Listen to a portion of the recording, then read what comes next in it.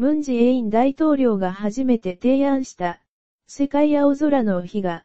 国連の公式記念日に指定された。第74回国連総会第2委員会は26日、世界青空の日を指定する決議案をすべての国連会員国のコンセンサスによって採択した。これにより、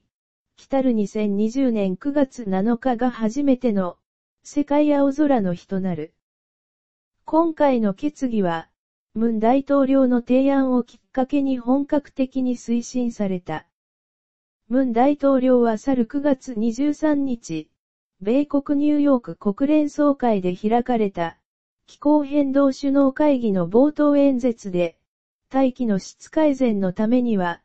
共同研究と技術的な支援を含めた国境を超えた国際協力と共同対応が必要だとし、世界青空の非指定を公式提案していた。